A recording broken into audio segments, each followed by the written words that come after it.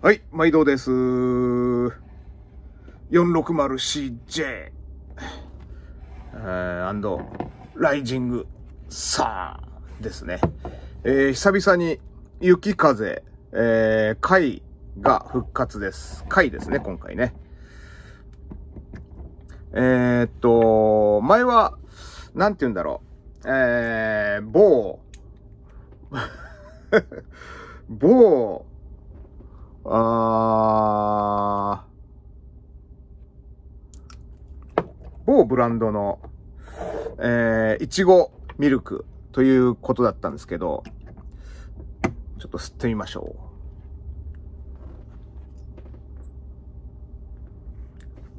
う。あれ？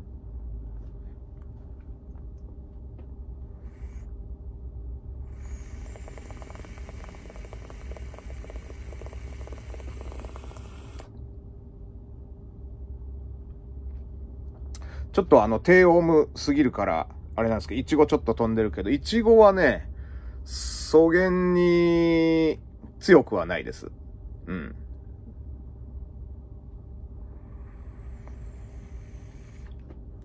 あれ？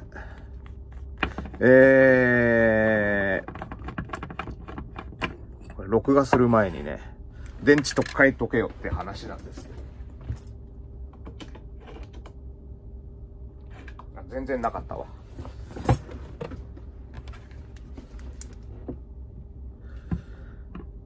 今回、キャラメルと、それから、あとは、えー、クリームとミルクがかなり強くなってますね。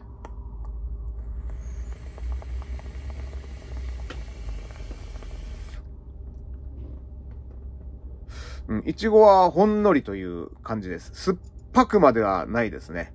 だ前は、私は酸っぱいのがあまり好きではないので、えー、レモンとか、ライムとか、すだちとか、そんなあんまり好きじゃない。酢の物は嫌いではないんですけど、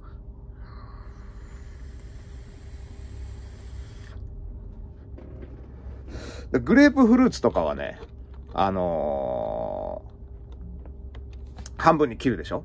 半分に切って、で、こうなってるじゃないですか。そこに砂糖をこう、てんこ盛りにやるわけですね。砂糖10杯分ぐらいこう、こう、こう固めて食うわけなんですけど、それぐらい甘党なんです。コーヒーはね、砂糖6杯、7杯入れるかな。最近5杯ぐらいに、あの、糖尿が怖いんで、5杯ぐらいには抑えてるんですけど、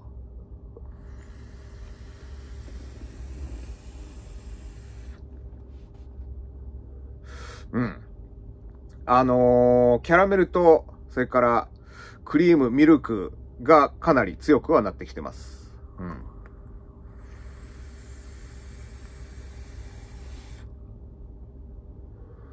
そう、あと、レモンとか酸っぱいのもね、レモネード、まあ、ラムネは飲めるんだけど、あのー全然話違うんですけど、唐揚げお待ちって来るじゃないですか。いきなりレモンかけちゃうやついるじゃないですか。あれもダメですね。もう速攻、あ、すいません、唐揚げもう一皿って頼んじゃいますね。あの、かけたい場合は、自分でその、自分の取り皿に取って持ってきてそこで自分でかければいいのに、あ、唐揚げお待ちって、はい、来たーっつったらもうレモンをそこで取ってギャギャギャギャギャギャギャギャギャギャギャギャってこうかけちゃうのは、あれは、ダメですね。あのー、あの、かけない派もいるので、あのーかけてはいけません。はい。で、それぐらい、あ酸っぱみはもう、いちごの酸っぱみはないですね。はい。いちごの香りというぐらいですね。だコームで吸ったら、どうなるかなうん、コームで吸ったら、ちょっとイチゴは、ちょっと、出てくる、もうちょっと出てくるかもしれません。うん。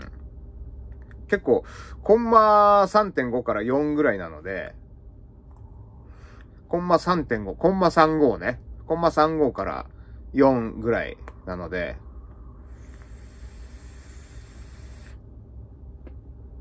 うん。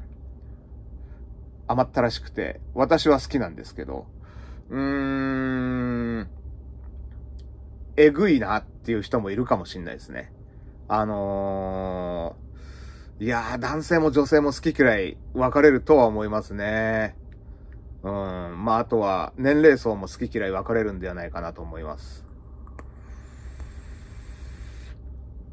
前の雪風、忘れちゃったよっていう人も もしかしたらいると思うんで まあ、あの、新しい味ということで、あのー、もう、ご留意くださいと。うん。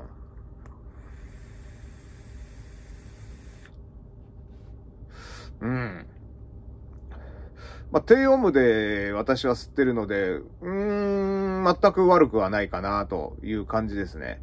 あのー、また、ここ数年で 30W、50W とか、あで、結構やる人もまた増えてきてると思うんで、うーん、まあ、それなりに考えてやって、あのー、炊いてみてはいかがでしょうかね。うん。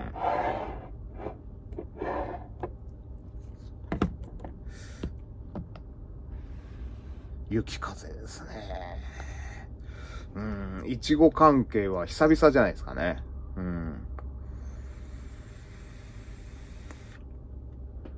うん。うまい。ちょっと夏、もうもう、梅雨明けで、もう一週間経って、もうね、40度近く、40度あった日もあったんじゃないでしょうかね。ちょっと、うーん、スカッとするものを混ぜてもいいんではないかなと思いますね。うん。あのー、ジュースでも、いちごミルク系あるじゃないですか。まあ、冷たいやつ。うん。だから、清涼剤か、またはちょっと、うん。ミントとか入れてもいいんではないかなと思いますね。うん。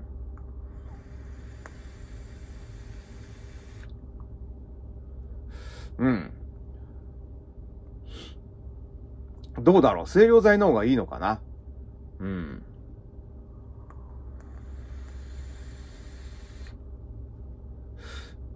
そう、デザート系に結構ミントはね、うん。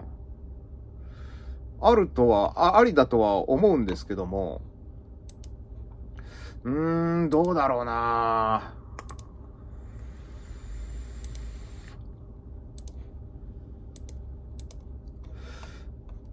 メントール入れてもいいと思います。うん。若干ね。うん。ちょっと、いや、この味はダメだなと思う場合は、メントールでがっつり入れてごまかしちゃってください。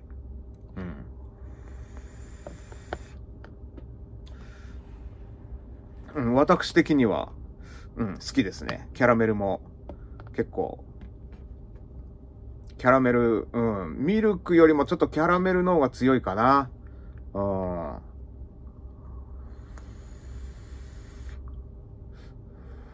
うん。うまいです。ということで今日はですね、えー、久々のミカサシリーズ、雪風回、雪風回でした。じゃあねー